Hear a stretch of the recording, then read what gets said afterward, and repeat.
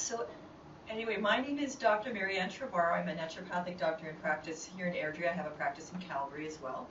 And I teach for um, a botanical medicine company called Pascoe. And I'm an editor, associate editor of our national journal called Vital Link. And I do work for the College of Naturopathic Doctors of Alberta. I actually serve on our Complaints and Investigations Committee, which is um, don't talk much about that. usually colleagues is like, you don't want to be on our radar. but I, am here today to talk about hormonal health. Um, it's a thing that there's a lot of talk in the media. There's a lot of marketing towards women uh, between 40 and 60.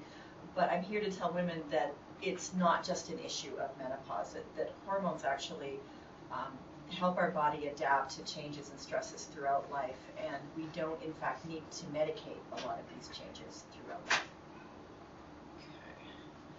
So we're going to do a, a, quick overview of the female hormonal system. Boom, water skiing tour. So um, the big two hormones that that handle uh, that govern menstruation are estradiol, which is an estrogen, and progesterone.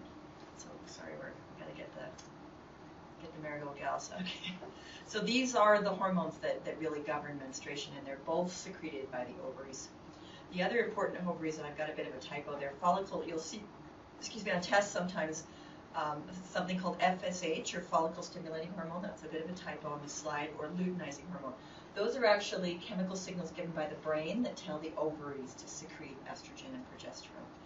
DHEA and testosterone are androgens or male type hormones that are secreted by our adrenal glands. Women have them too. We also use them now in much less quantity, but we, we use them and need them for a feeling of well-being, for bone health, and also for libido and our sense of, uh, often women with low chronic stress have low DHEA and find that they are losing their memory. So cortisol, the stress hormone, it's the hormone that helps our body adapt to various stressors, whether it's pain or temperature change or emotional stressors or traffic or all of those other things.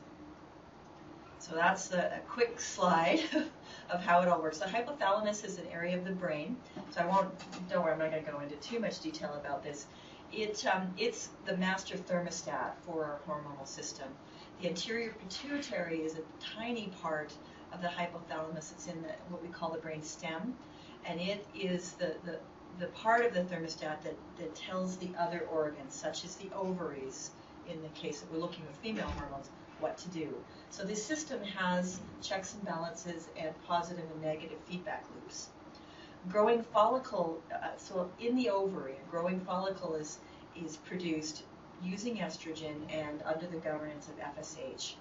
So estrogen actually increases. So our estrogen is peaking right before ovulation. So estrogen is is the hormone of the first part of the menstrual cycle. In the second part of the menstrual cycle, when the egg is secreted from the ovary, there is something called a corpus luteum, or a yellow body created. That, and then progesterone starts to govern that part of the cycle. And here in progesterone is where usually the problems come in. Progesterone is often not secreted these days in adequate quantities to maintain a proper menstrual cycle. It happens at the beginning of, of our menstrual life during menarche and the first couple of years afterwards, and definitely in perimenopause and progesterone, increased progesterone itself, inhibit the secretion of FSH and LH. Don't worry, it's not a, it's not important to know all these things. What is important to know is that we only produce one egg because adequate progesterone serves as a feedback loop to tell the brain not to produce any more eggs. So again, another complicated slide, but what it what basically the important thing to know about hormone formation is that they are all formed from cholesterol. So this becomes a problem for many of my women patients that are vegan or don't eat meat, is it's hard for their bodies, hard for their livers to produce enough cholesterol, and we often have hormonal problems from those patients. But the important thing, again, the important thing to know is that progesterone actually is produced on a completely different pathway than estradiol, and that will become important when we're talking about stress and the way that it can dysregulate estrogen and progesterone. So even more complicated slide. so this is this is the whole big picture of where this is all produced and the various enzymes and inhibitors and that is so not mm-hmm. important to know. But it's just there to tell you that it is a big, if you could go to the next slide, it's a big, big symphony of hormones and feedback loops and positive loops and negative loops.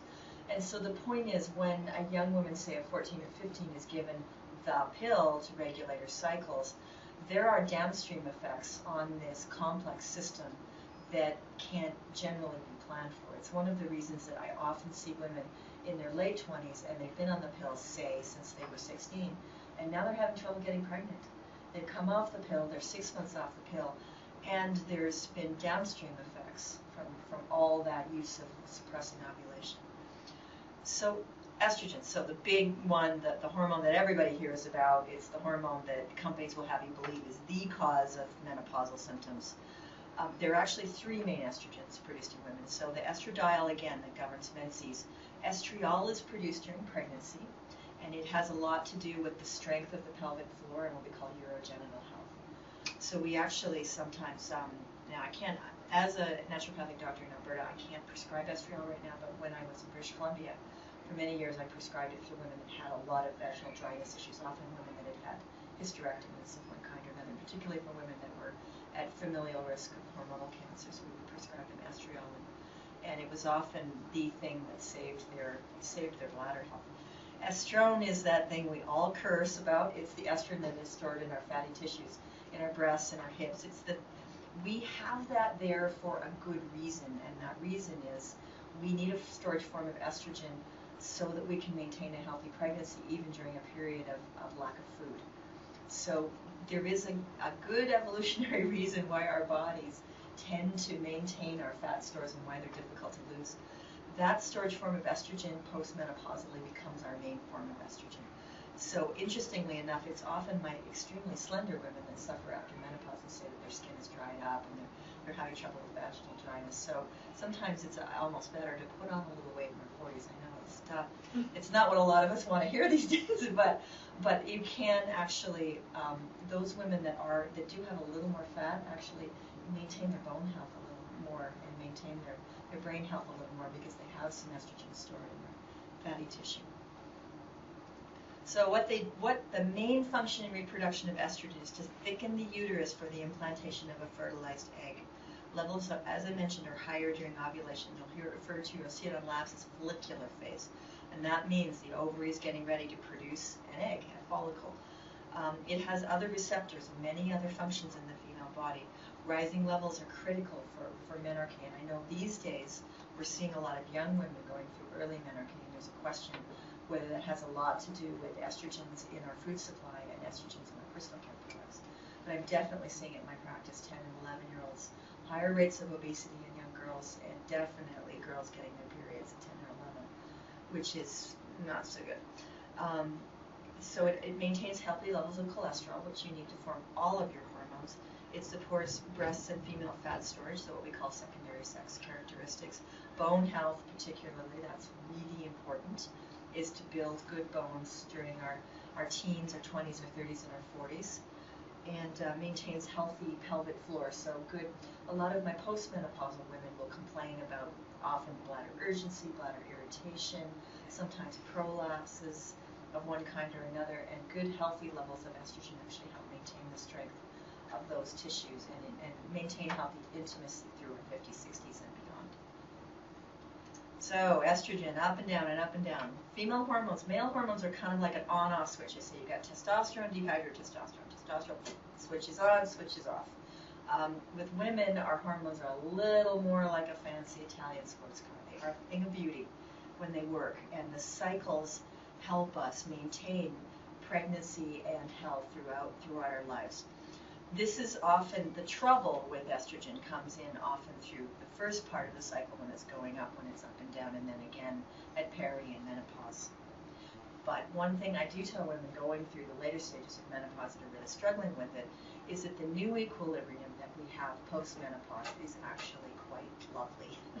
it's um, women report to me that they feel much calmer, they feel more in control, and they don't feel quite as sea as they have during those periods of fluctuation in perimenopause. So, despite what the media will have you believe, there is life. There's plenty of good life balance of estrogen and progesterone during a woman's hormone, uh, menstrual life, so between about 13, 14, and about 50. Now that can range between menopause can range between 45 and 55. But during that period of a woman's life, the balance of estrogen and progesterone shifts during the menses, as mentioned before. um, estradiol levels fall, and they're the ones that, when women complain specifically of hot flashes and brain fog, that's often from rapidly declining estradiol. We see it, the worst cases I see are women that have had hysterectomies. Sometimes they, they have hormone levels completely crash within the six months to a year after they've had their surgical procedure. In fact, I had a woman in my clinic recently who had ovarian cysts and heavy bleeding, and they, they did a hysterectomy and the heavy bleeding stopped, but she still is having ovarian cysts. So often surgery doesn't completely solve the problem. Um, progesterone, very important hormone, often and, and has been classically overlooked in the gynecological literature. It's produced in women by the ovaries and the adrenal glands. It's again produced after ovulation classically PMS symptoms, so that heavy, heavy breaths, feeling um, irritable, cranky, painful. That's often because the body's not producing an adequate level of progesterone. And there are a lot of reasons why that's so in the modern world. Um, its function is to support the implantation of the fertilized egg. If the conception does not take place, progesterone levels will, will drop sharply, during menopause. So women that have what we call luteal phase defect or early periods or they're bleeding for a long time, they often have problems with progesterone. And it is typically the hormone I see out of sync in, in a woman's early 40s. And often the hormone that's out of sync in, in girls of 13, 14, 15. Um, progesterone, besides being essential for pregnancy, it is the pregnancy hormone.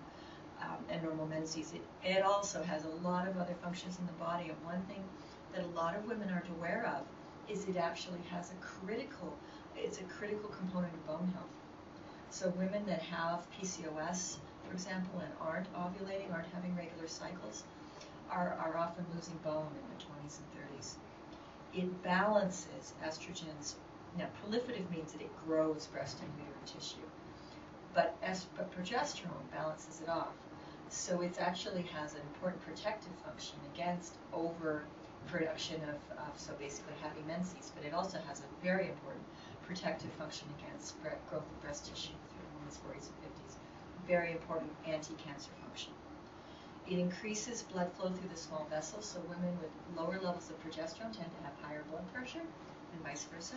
I've actually, in the past, I've prescribed progesterone to bring down blood pressure in some patients in perimenopause. Not that it's the only thing it's doing, but and this is important to know that it's a difference between natural progesterone and the progestins that are in drugs like Provera. They actually have an opposite effect on blood pressure. So they will, women on conventional hormone replacement therapy have to have their blood pressure watched quite carefully, whereas natural progesterone is usually good to lower, lower blood pressure by about 10 to 15 points. So significant difference between the two of them. And, and one of the main reasons why I really don't like the use of oral contraceptives for women over 35 for hormonal irregularities because it's just not it's just not the best option.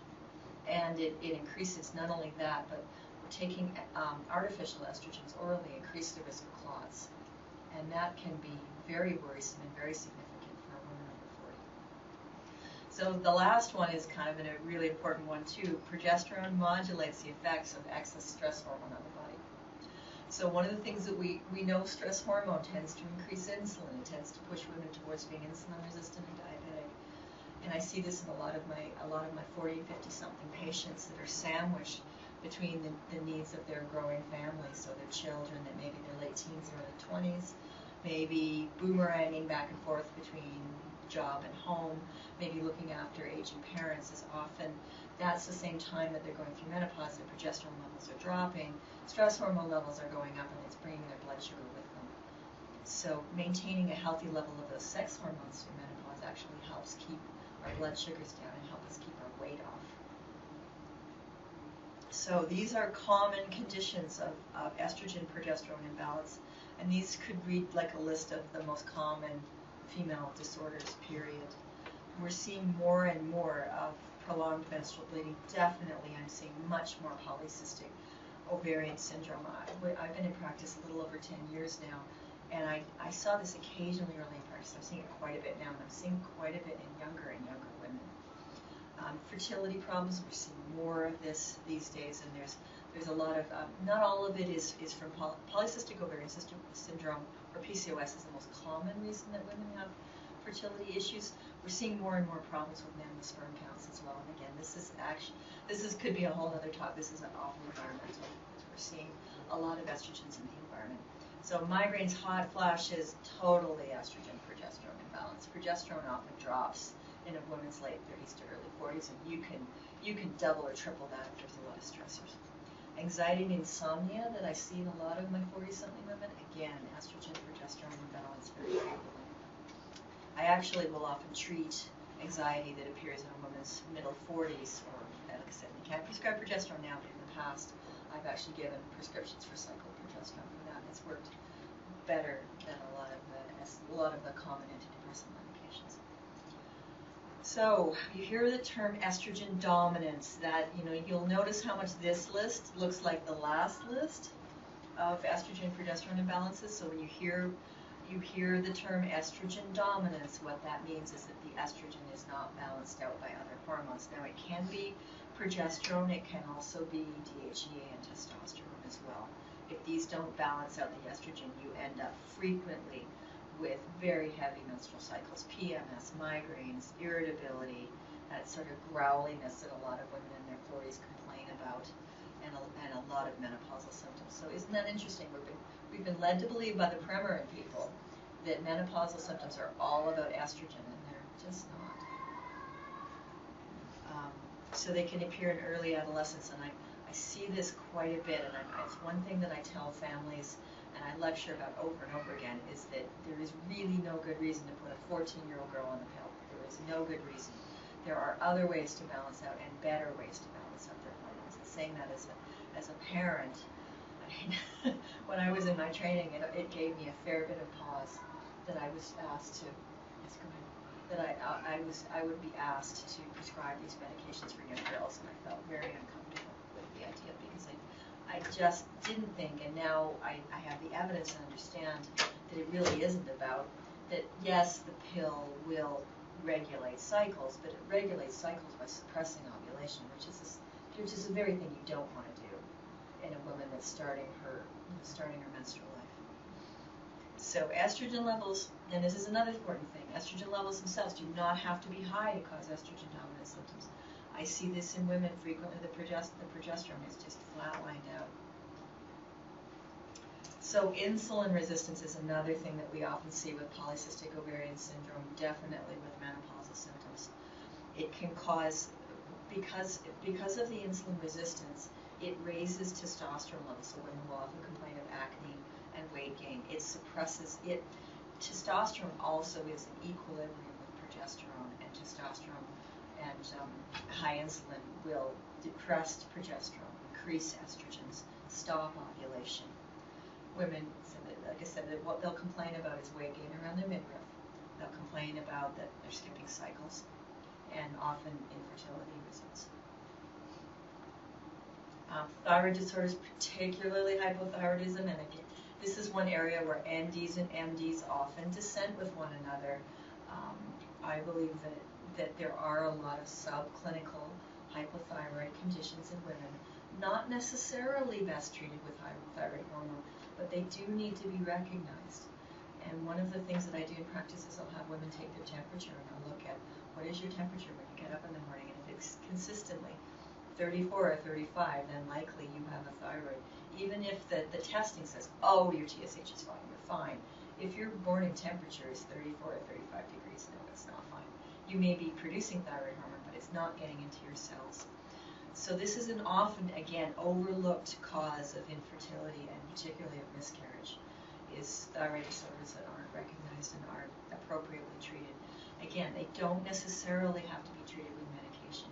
Medication for hypothyroid disease tends to be a one-way street in that once you prescribe medication, it's very difficult to get a patient off it. So there are other options for cortisol, good old cortisol, stress hormone. Um, it, it in and of itself bumps up insulin. It can cause thyroid problems in and of itself. Like I said, these these hormones are a symphony, and they all they all either play together or they try and play over each other. Um, it also excess cortisol decreases progesterone. So you're starting to see how stress, like stress is just like sticking a screwdriver into the hole. You know, putting a screwdriver into a motherboard, it just, you, you get just all sorts of downstream problems. Um, chronic stress, ins- insomnia, anxiety in themselves, again, these behavioral things cause excess cortisol. Cortisol and estradiol that are actually the only two hormones that have what we call a positive feedback loop. So high stress hormone bumps up estrogen. Estrogen bumps up cortisol. They all they both feed into insulin. It's a it's a bit of a nasty loop that one. Melatonin, on the other hand, increases progesterone production. So it's one of the reasons I actually use melatonin in some of my late 40 something patients to help them sleep. High processed food diets definitely increase stress hormone, increase insulin. High carbohydrate diets.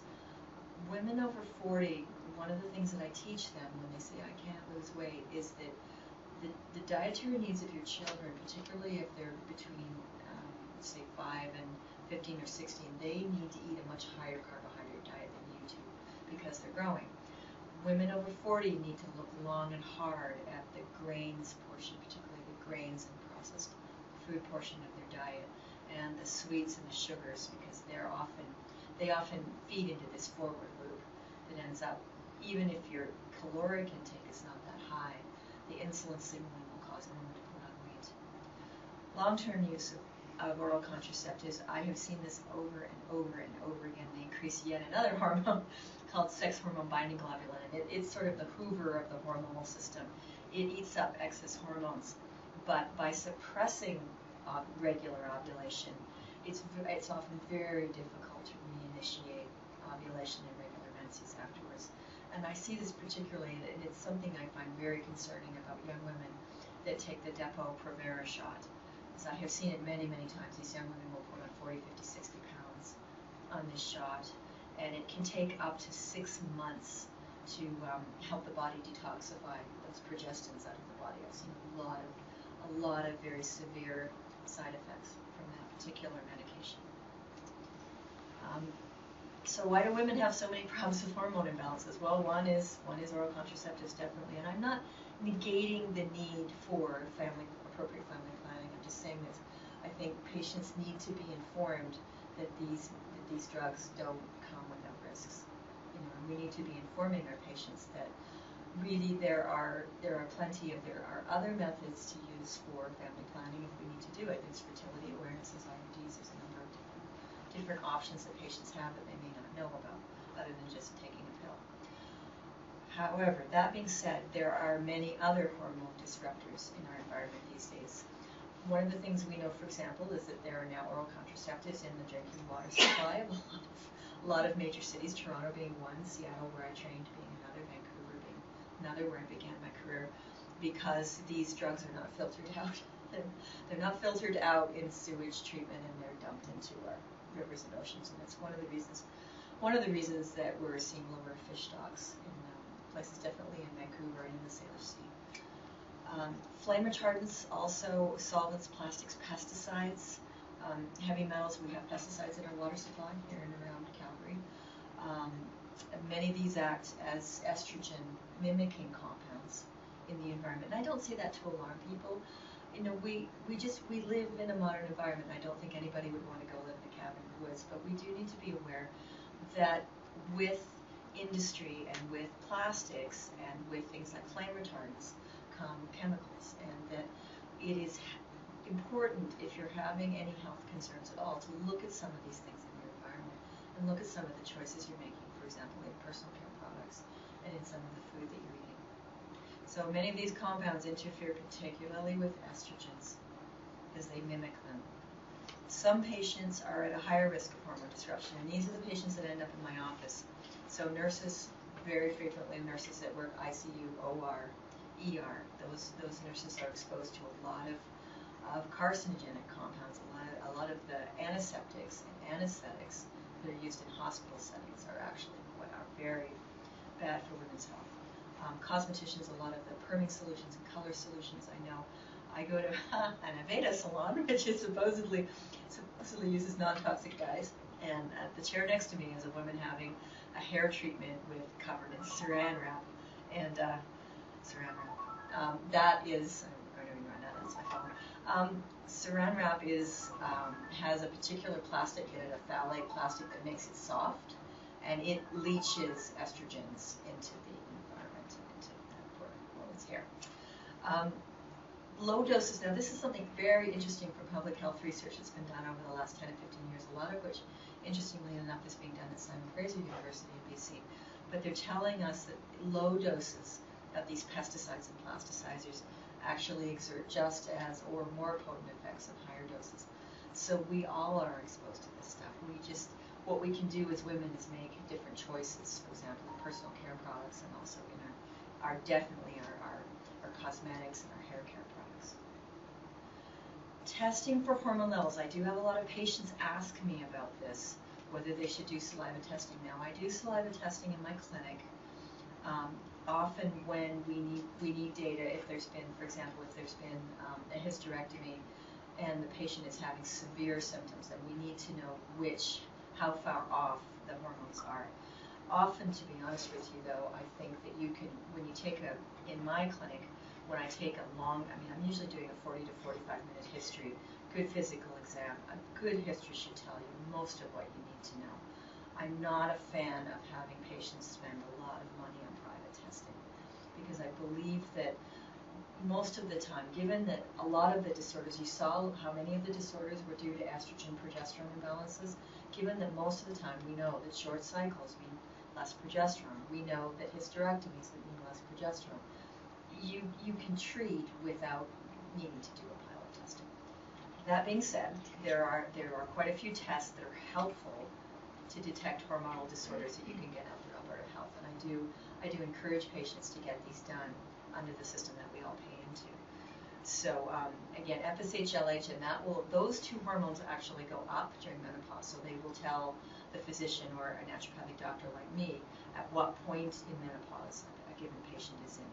DHEA, again, the androgen produced by the adrenal glands, it's sort of our, our get up and go hormone. Um, if testosterone, the same, our get up and go, our libido hormone. Hemoglobin A1C, I probably should have spelled that out. That is an average of blood sugars over a three-month period, and that will tell you how your insulin, how your insulin or insulin resistance is doing. Um, thyroid disorder is very, very common in women these days. We, I do like to look at all of the hormones to see what's going on within the cells, not just what's going on in the brain. Prolactin, uh, yet another hormone. This actually is the, the hormone of um, milk production produced by the breasts. And it is also part of those same feedback loops with estrogen, progesterone in the brain. Cortisol testing can reveal problems with cortisol balance of the stress hormone. In, in young mothers, for example, I often see when I do four points, so I'll do breakfast, lunch, dinner, and bedtime. Frequently, I'll see it go shooting up first thing in the morning because when we get up, to look after our kids, get them to school, get them to work, and then it crashes. So I see that pattern fairly frequently. They can be helpful when people are really depleted. Most of the time, when people are mildly depleted, again, history and physical exam, because I'm working a lot with botanical medicines, history and physical exam tell us most of what I need to know. I'm usually testing my, my, my really ill patients. So these are some of the conventional therapies that everybody's heard of, and I, I certainly, you know, I took the pill when I was in my early 20s and I was and not, wanting to start a family right away. Um, mostly um, oral contraceptives are prescribed in women under 40. They're sometimes given during menopause, and, and that's really, in my opinion, quite problematic because of the risk of clots with these oral estrogens.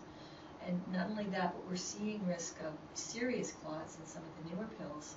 For example, I don't know if anyone in this group or anyone online heard about the problems with Yasmin. It was a pill that came out about 10 years ago, and they were seeing some, I think they saw a couple deaths with Yasmin and we were told, you know, when, when we went to our continuing education events, oh, this was a great pill, it was wonderful, it was fewer side effects, and then we started hearing about all these adverse effects. So, yikes. I mean, to me, that's just, a, I, I don't know how they got that approved. That is an unacceptable risk for someone to have a serious medical event from a drug like that. I am convinced that, I'm convinced, and I'll say this again, that oral contraceptives are not necessary to balance cycles, that they should be used for contraception and contraception only. um, there's really questionable evidence that they even work in adolescence because they're working really only by suppressing ovulation. They're not working by inducing normal ovulation. They have adverse effects in many women. I have women come into me and say, I felt psycho on the pill. And my doctor said, that's very unusual. No, it's not. No, it's not. I, I see Um, so standard hormone replacement therapy. This is Premarin and Provera. Um, my, I work in my Calgary clinic with a family doctor. She was telling me stories about how I think it was 20 years ago the Premarin people sponsored a sponsored a zoo day, a zoo day and spa day for women family doctors in Calgary. So all paid for. So and then they had to listen to little talks about Premarin. So this is how the game used to be played before before people started noticing the drug companies were kind of gaming the system. Um, but and the the women's study, the women's health study that came out of Boston University and uh, Harvard showed that there was actually increased risk with the combination of Premarin, which is a which is horse estrogens, a mixture of horse estrogens, and Provera, which is an artificial progestin, um, that they caused uh, actually increased uterine cancer. That's I mean, a significantly increased risk, increased by 120% in five years and they also increase risks of breast cancer, heart attack, and stroke. Guidelines are now, so the, the most current guidelines, which guidelines are really expert opinions by doctors, they're not really, they're not really the same kind of evidence you get from large trials, but, but guidelines seem to be driving a lot of things in the conventional world these days. Um, they're now saying that you can use them for severe symptoms two years or less. I have never, I was um, in British Columbia for eight years. I don't think I gave one prescription for Premarin. I only gave one prescription for Provera, and it was a very short-term use for a woman who was having extremely heavy menstrual bleeding and we needed to slow it down.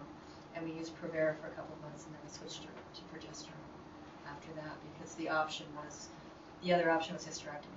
So, so in that, in my opinion, is really the only way we would use Provera. It's very short-term for a specific urgent situation extremely heavy bleeding. I just don't think I don't think these are necessary. Even even for severe menopausal symptoms, you just don't need these. Um, bioidentical hormones, you'll hear more and more of these. Almost everybody knows about Suzanne Somers. Almost everybody knows about you know that there are clinics in town where you can go and get prescriptions for estrogen, progesterone, testosterone, the whole the whole schmear of hormones. They are produced in the lab. So they're human identical in that the chemistry is the same as the hormones our body produced, but they're not completely natural. So it's important to make that distinction that they're they are lab produced hormones. And there is also no consensus amongst experts about what is the appropriate level to give patients. So what you'll often see with the quote unquote anti-aging docs, and I've seen this a few times with women, they'll come in and they're on levels appropriate to a 30 year old and they're in their middle 60s. And I, there just haven't been really good safety studies done on long term use, specifically of estrogen and testosterone. We know that progesterone is a safe hormone long term. We do not know that even about bioidentical estrogen, even about bioidentical testosterone. Well, there is no evidence in the literature, and, and they have been used in Europe for a long time symptoms and for hysterectomized patients. There's no evidence that they increase risk, but there's no evidence that they're completely safe. So I do explain that to patients about the hormones. Um, progesterone and prometrium, if they, they can be prescribed by a medical doctor or nurse practitioner on their own, can be helpful for severe symptoms. And I will often refer patients to my colleague in office down at Sage to, uh, again, heavy bleeding in particular, um, they can also decrease blood pressure. Part of the tools that we use to decrease blood pressure is certainly not the only one. Um, again, no long-term safety studies. They're by prescription only in Alberta right now. Naturopathic doctors are in, we are in talks with Alberta Health to get prescriptive authority, but at this time we don't know when those talks are. So I work with a family doctor when I feel that patients really, really need hormone therapies.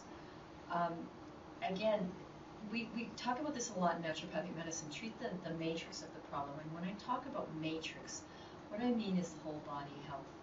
So the brain, as you've learned, is an important an important part of the whole symphony of hormones. It's not it's not just some some box up there where we think and feel. It actually helps set up our body systems to adapt to various changes in our environment. Gut ecology, um, digestion, anybody who's who knows about my work or knows a patient or is a patient of mine knows that I prattle on about gut health and having an important the importance of gut ecology to the metabolism of hormones, to our global body health, to our immune system. Really, really key is good digestion, good diet, good elimination, um, liver and kidney function again. that's not a medical term gummed up, but a lot of a lot of women with um, high levels, I, and I see this a lot. My oil patch guys are some of the sickest patients I have. The ones that go up and work on the rigs, they come down and they've got.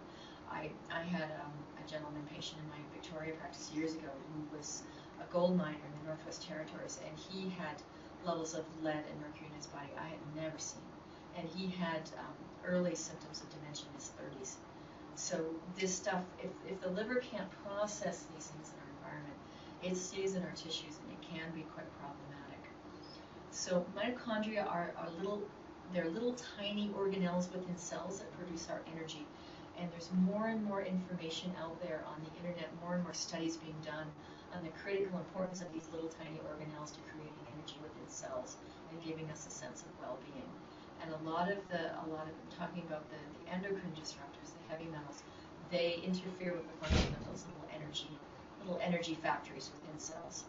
Immune system balance, very important again, um, having to do with can the body fight off normal colds, flus, infections, or is it busy fighting pollens or cat hair or dog hair or other things in the environment? So good healthy immunity, not too many, not too many antibody, the antibody part of our immune system, but good what we call innate immunity, having that system balanced well is very important to health and also to hormonal health. Mind-body issues having to do with do you feel comfortable in your own skin? Do you have good relationships in your life? Are you part of are you part of a community where you feel cared for and respected? Those are important features to health as well. Do you have sleep problems? A lot of women in their 40s and 50s come to me complaining they can't sleep because they have a partner who snores. So that is also an important thing is does the patient are they having good seven to eight uninterrupted hours of sleep a night? Uninterrupted is important. And hormone imbalances definitely, hopefully at this point, we've, we've got a good idea that that's part of the game. Um, so there are natural treatments. What I tell women is that with botanical medicines, there's certainly over-the-counter products, but the amount of herbs that I can get for patients and that I use to treat are usually much, much higher than the things you get from drugstores. So they'll come into me and say, well, I tried this product, and usually it's some version of EstroSense or EstroSmart or one of those over-the-counters, and they said it had chaste tree in it. Well, not much. a lot of the over-the-counter products, they'll say proprietary amounts, meaning we're not telling you, so who knows. Um, but I do know that, that chaste tree or Vitex agnus castus is a very, very effective botanical medicine when used in an appropriate quantity in the right patient for PMS. It can take two to three cycles to work, but it's very effective. Vitamin C is also helpful, but I usually recommend it in the calcium ascorbate form. So these are other Smilax and Damiana or other herbs that I use. Um, lowering estrogen levels, I will often use a compound called DIM. It's a broccoli extract. It supports the liver metabolizing estrogen, so they're turning this fatty molecule of est estrogen into into a, um, a molecule that can be secreted in the urine. It also decreases circulating testosterone in women. So for young women that have acne or women that have acne problems, it's very, very effective. It stimulates detoxification systems. Wonderful, wonderful um, product for women at risk of breast cancer. So um, really good for women that have familial risks there's good data for DIM extracts for actually protecting breast tissue. High fiber diets, again, this is something anybody can do, is increase, and, and I don't mean Metamucil, I mean green leafy vegetables, flax seeds, um, things that are, you know, orange vegetables that are crunchy, not over cooking your vegetables, but eating them raw when you can. I mean, not everybody can eat a high raw food diet. Some people get terrible indigestion from that. But high fiber diets, the way we used to eat 100 years ago before we had all these packaged foods, these help bind hormones in the digestive tract, carry them out of the body. They increase good, so they help gut ecology, to help immunity, and to stop inflammation in the gut. It decreases decreases inflammation. Again, green leafy vegetables, orange vegetables, flaxseed, some of my. Um, phyto, you'll hear again in marketing materials something about phytoestrogens. They act, they tend to act as mild estrogens in the body because they do bind to estrogen receptors in bone, in the uterus, and the ovaries. When it's plentiful, it has a weaker effect, so it tends to decrease the effect of estrogen in the body. When there's little, no tissue estrogen, it, it binds to that receptor and increases the effect. So you'll hear a lot about soy. Now, I have very mixed feelings about soy because a lot of it now in our food supply is genetically modified. My problem with genetic modification of food is that the proteins that are produced when you change DNA in the food supply are just a little bit different. And so when I test for food sensitivities, which is the test I run most frequently in my practice, I am seeing soy come up almost as often as any other food. I'm seeing very, very common sensitivities to it not only that, but I, I don't think that those of us, people who are, women who are East Asian ancestry have, they have inherited enzymes in their gut to digest the soys. Most of the rest of us don't. And so often what I see in a lot of women that maybe have Caucasian extraction or South Asian extraction, when they eat a lot of soy, is they end up with hypothyroid symptoms. So that can happen if you're doing soy shakes, soy bars, soy, you know, you, you're doing all these processed soy foods in addition, things like soy milks and soy bars, the way they process the soys takes all the fiber out of it, and it ends up being an almost carbohydrate, a very like a very high glycemic index food. I just don't. I think edamame can be a healthy food in small amounts for a lot of women, but these processed soy products, the way that were around 10 or 15 years ago, are really not that healthy. Um, red clover, you you find them in in um, spring mixes, sort of clovers are in there. Pea family, so these are lentils, lentils, chickpeas, other things. They're, they're a common part of Mediterranean and South Asian diets. Um, hops, believe it or not, good old hops act as a phytoestrogen. So, um, and flax. And I, I love the, um, I tell women the golden flax is actually, they, they complain about the taste of the dark flax. Golden flax has a slightly nuttier, sort of pleasant flavor, and I tell women, buy it in seed, you grind it up, stick it on your salad, um, there is some concern in the in studies, and these again, um, these are mostly mouse and rat studies, but there there is a caution about, particularly about soy, for women that have the genetic mutations. So these are the BRCA mutations, and most women that have them know about them by the time they present to my office. If they must avoid estrogens in the diet, I usually tell them to avoid soy.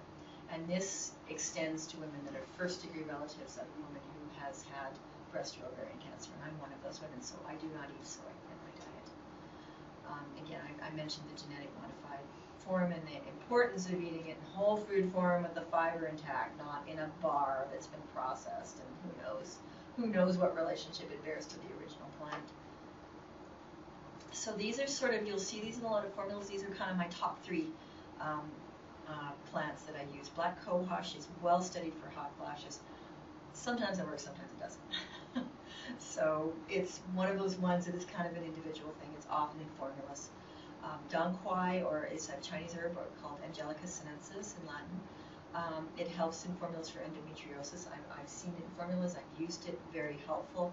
You have to be a little careful with Dong Quai um, if there's heavy flow. So women will often come in, try to formula with it for heavy bleeding and said it didn't help. Well, that's why, because it had that ingredient in it that actually thins the blood a little bit. Um, chaste tree again, progesterone-like effects, so very, very good in formulas. It takes it takes a bit of a while to work, but it's it's very useful.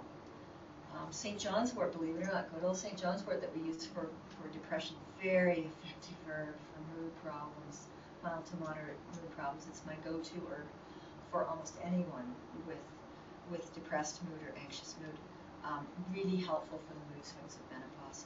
You do have to be careful with St. John's wort because it does interact with many medications. So I tell patients if they want to consider it, we need to make sure that I know exactly what medications they're on because it actually increases the metabolism of them. So it, by increasing metabolism, it lowers the body amount of that particular.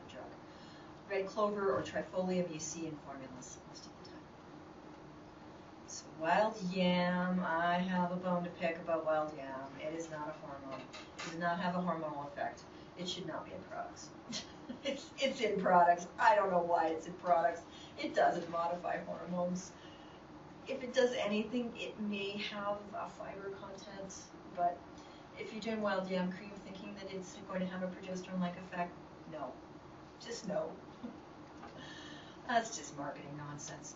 Um, so I use quite a bit of these. They're called bioregulatory or low-dose homeopathic medicines. I use them quite a bit in patients. I get good, good results with them.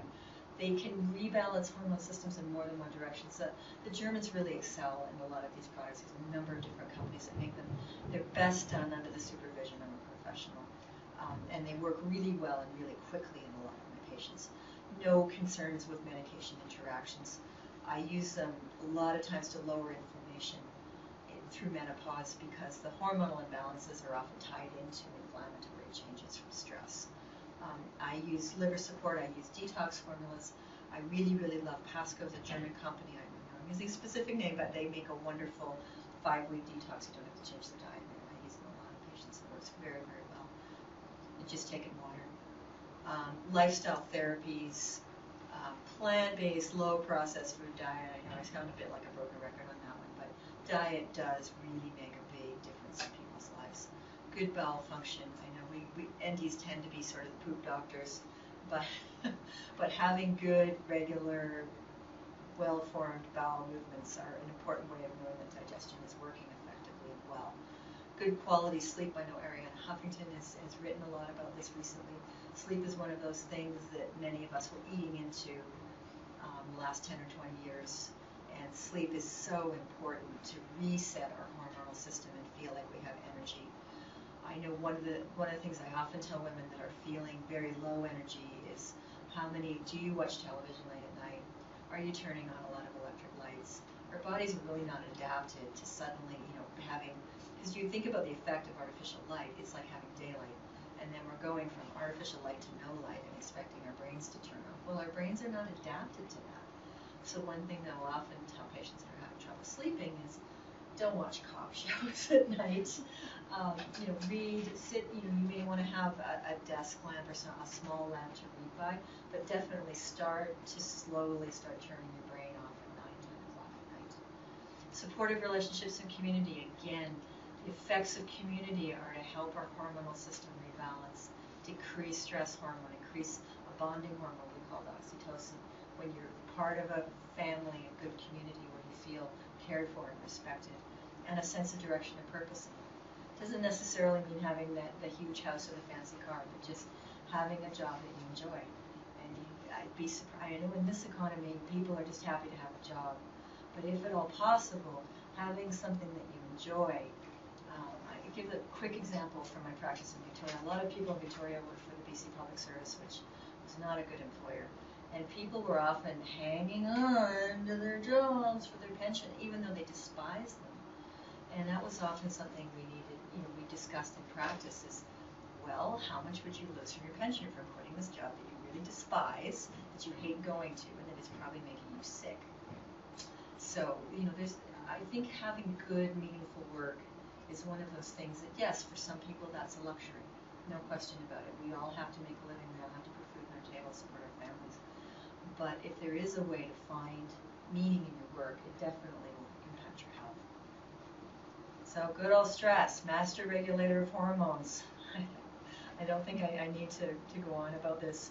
I think it's, it's probably pretty clear by this point. Stress level, it, cortisol does rise in the year leading up to menopause and postmenopausally.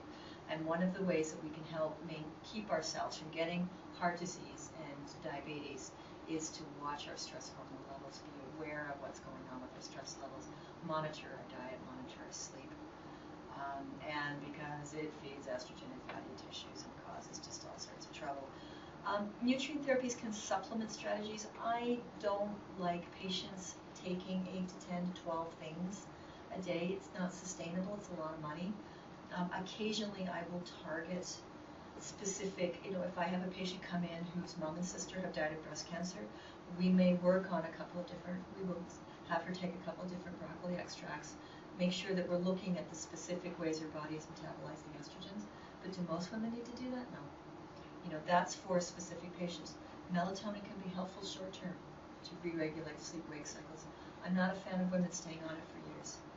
Whole, belt, whole, whole body strategies diet, lifestyle, exercise, sleep. Those are really the, the core of maintaining health. So I couldn't get a not equals. More vitamins do not equal healthier. so what I tell patients, critical, important take-home message. You can't eat a bad diet and take a multivitamin and have it equal out. They just don't. So, bottom line, hormones are just the messenger.